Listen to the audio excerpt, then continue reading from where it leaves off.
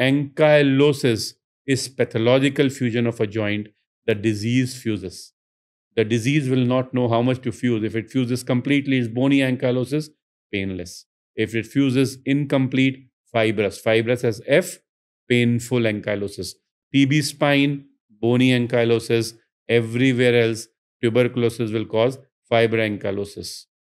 Bony fusion, that is bony ankylosis is solid. Solid is painless. S for solid, S for septic arthritis. So bony ankylosis, most common cause is septic arthritis. S for spine, S for solid. Spine TB, bony ankylosis. And again, one more S in a disease called as ankylosing spondylitis. Ankylosing spondylitis. Young man, low backache, reduced chest expansion, decreased lumbar movements, heel pain, eye pain. HLA B27 positive. So this is how it goes.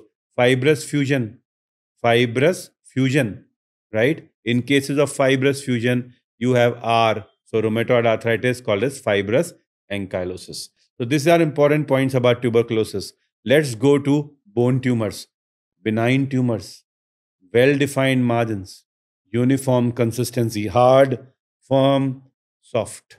Malignant tumor, ill-defined margins, variable consistency, somewhere hard, somewhere firm, somewhere soft.